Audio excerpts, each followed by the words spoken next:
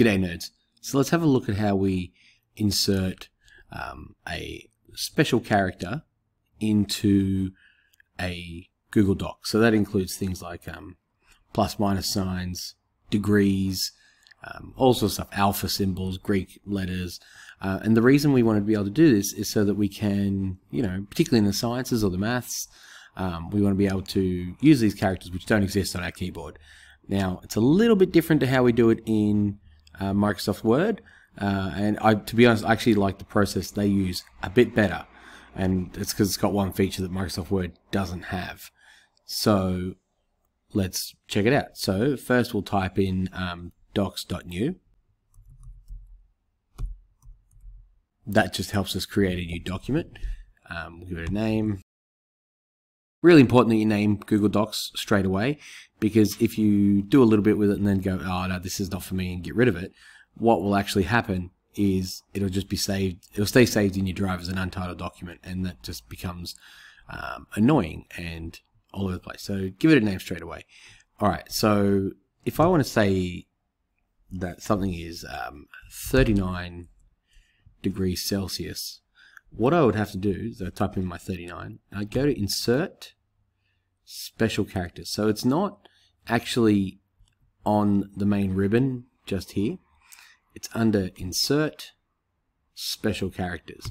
And then it does something interesting which the others don't do. So we can break it down into all of our sorts of um, options, but makes sense. Google's a search engine, um, so it sort of thinks about, or the programmers think about things in those terms. Now, so the other ones don't quite do that. So I've got two two functions here. First, I can draw the symbol. I'm just doing this with my finger because it's touch screen. Um, and it's had a look and it goes, it looks a bit like the alpha. Um, it could be, I have no idea what this is. Could even be a wave. Um, so it gives me the options, right? But I'll refresh that. That's not what I want.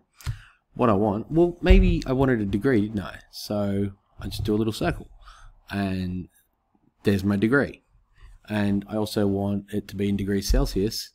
So it actually gives me this option. Um, which we'll click on that. Now I don't really like that one, and I'll show you why. Um, so we'll close that down. And you'll see that they're in different fonts, and you can't actually change the font of this in any way that is appreciable. It's going for a symbol, not a sign. So let's get rid of that. And I want to make it insert special characters. So I'm not going to use the, the draw function. This one I'm just going to use the sign one. So I'm going to, I know it's the degree symbol. And I want that one. See, I could use any of the others as well. So I choose degree. And then, so just by hitting it, will or clicking on it, will make it appear. And then I press C, and you can see that it's now in the same font as everything else, and that works for me. So those are the two ways. So to summarize, we go to Insert, Special Characters, and then we have we can just look for something, which is fine, um, but it's clumsy, and that's sort of the way it works in Microsoft Word.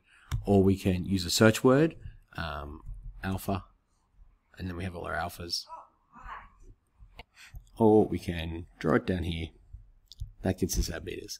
Uh, if you have any questions, pop in the comments. Um, we always look forward to hearing from you. And yeah, thanks for watching. See you next time. Bye now.